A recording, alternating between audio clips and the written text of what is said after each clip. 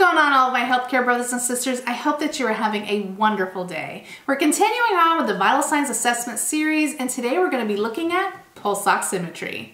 Let's get started. So what is pulse oximetry? Well, it's a non-invasive test that registers the oxygen saturation of the patient's hemoglobin.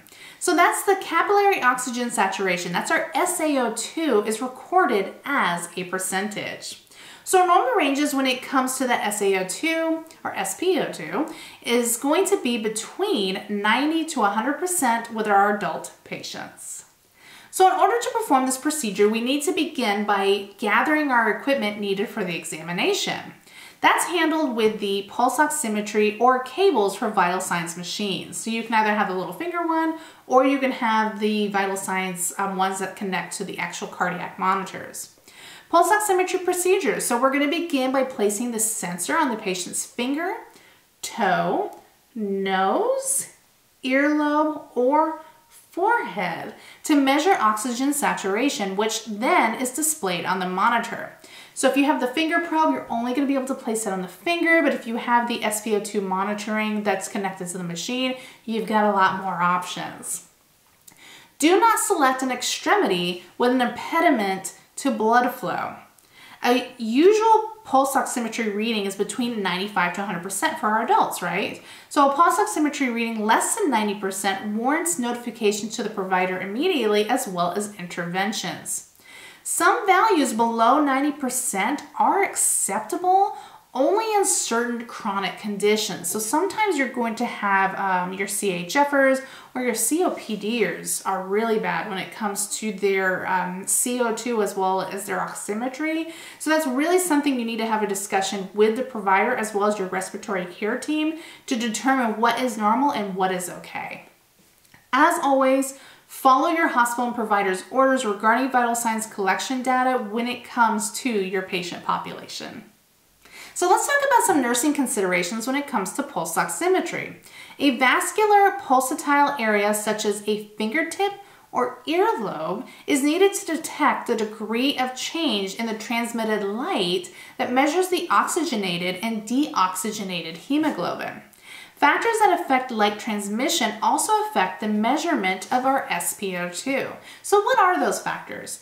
That could be fingernail polish, sensor movement, hypotensive patients, anemic patients, as well as those patients that have peripheral vascular disorders.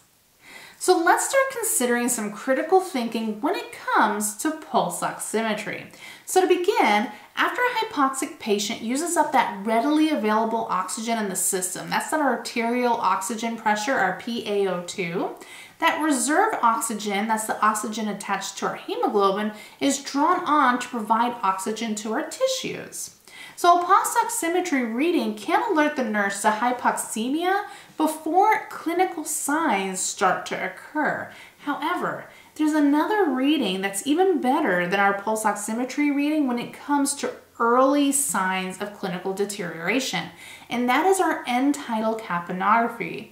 This can actually alert the nurse to hypoxemia and worsening CO2 retention much faster than a pulse oximetry reading can.